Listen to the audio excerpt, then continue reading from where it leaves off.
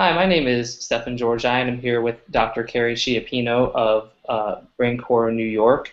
Uh, her practice is located in Smithtown, New York, but I believe, uh, Dr. Chiappino, you're also uh, associated with some other practices and things which you can explain. Uh, today we're talking about what causes insomnia, uh, and specifically how insomnia is linked to the brain and ways that you can use unique alternative and drug-free therapies to address the symptoms of insomnia uh, in order to hopefully get a better night's rest. So, uh, Dr. Chiappino, if you want to you know, introduce yourself and, and then sort of, if you can give us a background onto the as to the causes of insomnia and um, you know how the brain affects the way we get a good night good night's sleep or not, that'd be awesome. Sure thing. So of course there's many causes to insomnia, um, but the one that we see in our practice quite often is when people have a challenge with their brainwave patterns. So a healthy brain is able to shift gears all day long. So, you know, when we go to sleep, we want our brain waves to slow down. When we want to pay attention, we want our brain waves to speed up. But sometimes we can just get stuck in one gear or another, and this can create challenges. Specifically with insomnia, what we see is we see that a person has too many of the fast brain waves. And just about anybody that you talk to that suffers from insomnia will tell you, you know, the minute they lay their head on the pillow, they can't stop thinking. Their brain is constantly going. They're not able to shut things off. And so this is a very common cause um, of insomnia. Um, with neurofeedback therapy, we're able, specifically with BrainCore, we're able to change that. We're able to help the brain come to uh, a, a, better, a more normal state of regulation, which means when they lay their head on the pillow, they're able to fall asleep. Cool. And so yeah, let's dive into that a little bit then, as far as neurofeedback and how you're able to, um, you know, change those brain patterns and especially the fast uh, brain activity. You know, so how does neurofeedback work that it's able to effectively address uh, that? Well, the first thing that we would do is we would do something called a QEEG. And a QEEG is um, basically a technology that allows us to measure the brainwave patterns in different parts of the brain. Um, if we see that a patient has insomnia and is stuck in this higher brainwave pattern, then we would say that they would be a good candidate to respond to neurofeedback.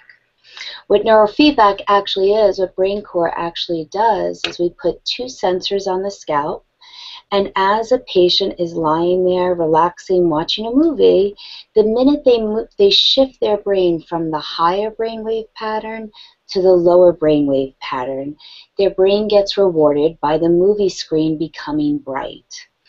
The minute they start to get excited or, or increase their brain waves, then the movie gets dark. So the brain learns through operant conditioning to keep that that screen bright. Um, operant conditioning is the good old Pavlov's dogs that we learned about in, in high school psychology. It's just a way for the brain to be rewarded for um, for producing a specific brainwave pattern. The good news is with neurofeedback is because we're not putting a stimulus into the brain or doing some kind of treatment to the brain where we're manipulating the brain um, by, by putting an electrical current in it or something like that, or even like with medications, taking medications affects the whole brain, right? Right. Um, with neurofeedback, we're just giving the brain feedback so it can make its own new connections. So new connections in the brain is called neuroplasticity. You're just basically training it to take a different pathway so that when you lay on your, your, your pillow at night, you're able to slow down your brain effectively and get a restorative night's sleep which is so important for, I mean, if people don't sleep, they don't repair their body well. So sleep, you know, sleep deprivation has been linked to so many things that really finding a non-invasive solution to insomnia, which we have found with, with BrainCore therapy, has been, you know, a, a, a precious asset to our patients. sure. Um, is there so is there much research on neurofeedback and insomnia, and, and has it really been studied at all to, to look at the efficacy of neurofeedback? Yes, it has been studied and it has very positive results. I will tell you clinically in my own practice, it's one of the things that we see change pretty quickly. Um, so, out of all the conditions that can be treated with neurofeedback, these states of brainwave dysregulation, insomnia is one of the things that changes the quickest. Wow, that's really cool. Mm-hmm. Um, perfect. Well, if you want to learn more about neurofeedback and BrainCore, uh, mm-hmm. you can go to braincoreny.com. Um, specifically, if Dr. Chiappino, who's in uh, Smithtown, New York, uh, it's you can look up New Life Wellness Center from uh, BrainCore New York there. And um, Dr. Uh, do you, you have a um, another website as well, right, where people can also go? Yes, uh, our, our own website is newlifechiropractic.com, and I am located in Smithtown and New York City um, on the Upper West Side. Uh, but certainly BrainCore New York website has quite a few um, excellent research articles. It's an excellent resource for our patients. Awesome. There are BrainCore clinics actually all over Long Island, so if Smithtown's not close to you, certainly take a look at that website and they can direct you to the closest clinic.